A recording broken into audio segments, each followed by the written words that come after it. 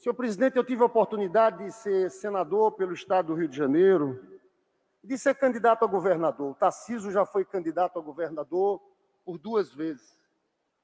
E em todas as oportunidades, nós falávamos do papel estratégico do centro da cidade. Esse é o grande espaço de articulação metropolitana. Nós temos uma cidade metropolitana, Baixada, Rio de Janeiro, São Gonçalo, Niterói, que significa 75% desse estado. É um povo só. E há um debate muito frágil sobre a questão da metrópole. E eu sempre falava disso, o centro é o espaço fundamental de articulação metropolitana. Nós temos um esvaziamento agravado pela pandemia, Tarcísio. Mas esse esvaziamento começou lá atrás. Teve formulações teóricas, o plano Lúcio Costa, e teve o interesse, claro, do setor imobiliário, a especulação imobiliária, que guiou, nesses últimos 40 anos, uma expansão de investimentos imobiliários em direção à Barra, Recreio, AP4 e AP5. E, na verdade, quando eu vejo esse debate, eu fico vendo sempre a discussão sobre o Estado.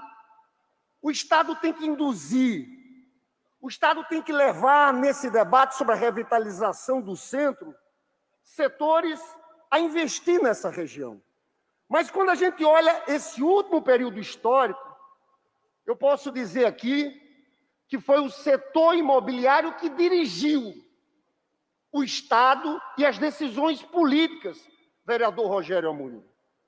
As políticas públicas, os investimentos foram atrás das prioridades ditadas pela especulação imobiliária. Eu dou um exemplo aqui. Eu sei que todo mundo quer metrô. O metrô para a Barra foi importante? Foi importante. Agora, o metrô para baixo era a linha 4. Antes da linha 4, nós tínhamos a linha 3, que era para São Gonçalo. Nós, quando olhamos, vereador Rogério Amorim, quando eu olho os trens da Supervia, completamente abandonados, com preço de passagem cara, agora R$ 5,90. Quando você olha para a Supervia, você vê lá toda a Zona Norte, Zona Oeste, Baixada Fluminense. Você sabe que tem um projeto, que é um projeto que já foi muito discutido, debatido, que é transformar os trens da supervia em metrô de superfície. Imagine quantas pessoas iam ser atingidas por um projeto como esse. Pois bem, a prioridade foi ditada pela especulação imobiliária e os investimentos públicos feitos pelos governos, últimos governos, foram em direção a esse caminho. Isso agravou o esvaziamento do centro do Rio de Janeiro. Então, senhor presidente, qualquer projeto que coloque o centro como prioridade, nós queríamos aplaudir. Agora, infelizmente, o que eu vejo que houve nesse processo de crescimento em direção à Barra, Recreio, está acontecendo nesse debate do Reviver Centro. Porque o projeto começa de uma forma. O projeto trazia IPTU progressivo. E o projeto não tinha operação interligada. Aqui, senhor presidente, está um problema. O setor imobiliário conduziu no debate sobre o centro, trazer o debate para os seus interesses. E aqui eu fico vendo esse dinheiro dos investimentos imobiliários, dos fundos que existem, vereador Paulo Pinheiro, esse dinheiro não é infinito, é finito. Será que eles vão investir no centro se a gente não criar algum tipo de restrição na P4, na P5? Será que eles vão investir no centro no momento que a gente oferece a P2 e a P3, que são mais de 200 prédios em Copacabana e Ipanema? Cada prédio desse, com que eles chamam de VGV superior a 50 milhões? Não. Nós estamos dificultando o investimento no centro. O que o vereador Tarcísio falou aqui é o que tende a acontecer. Fazem reformas, mas não vão ser ocupados. E aqui, pessoal, desculpa falar, Mas não tem como fazer um debate sério sobre esse projeto Reviver Centro sem olhar para a operação urbana consorciada do Porto Maravilha. Que se há um consenso, é que foi um fracasso. Nenhuma moradia popular foi produzida. A operação urbana consorciada do Porto Maravilha foi um fracasso. Teve investimentos em infraestrutura, em embelezamento, mas não produziu uma moradia popular.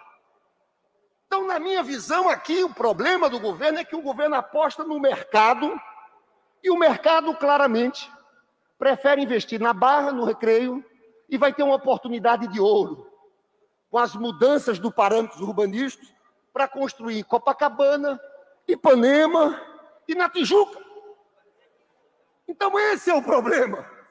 Para eles não interessa investir tanto no centro. E a vereadora Tainá aqui insistiu todos os instantes. O centro era moradia de zero a três salários mínimos. Nós, o projeto prioriza acima de dois mil reais. Então, nem o mercado se interessa e nem a classe média quer morar no centro. Esse é outro debate que nós temos que enfrentar.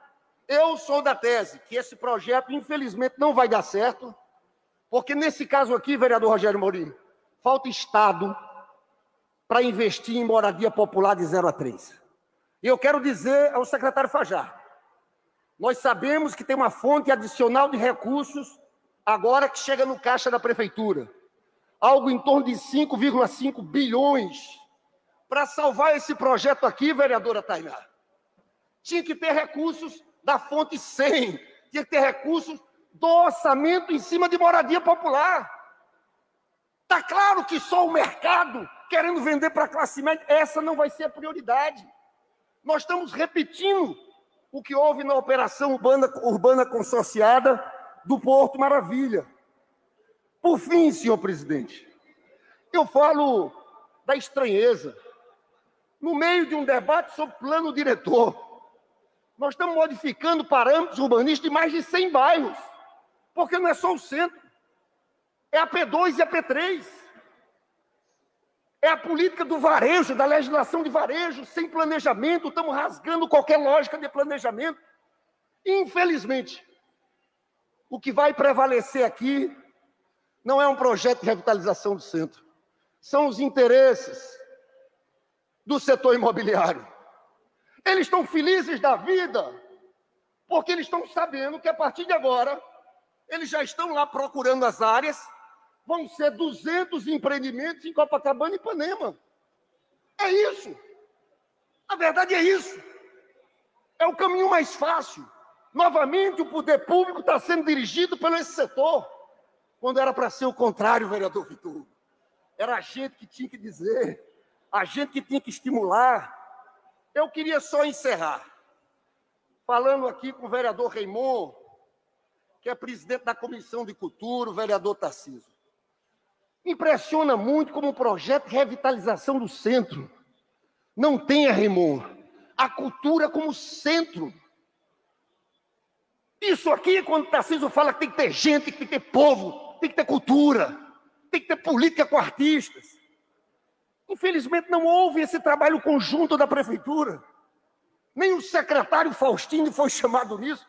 Eu citava aqui: olha o que nós temos, não é só a Biblioteca Nacional, Museu Nacional, Teatro Municipal, Sala Cecília Meirelles, MAN, Teatro Carlos Gomes, Teatro João Caetano, Circo Voador, Fundição Progresso, CCBB.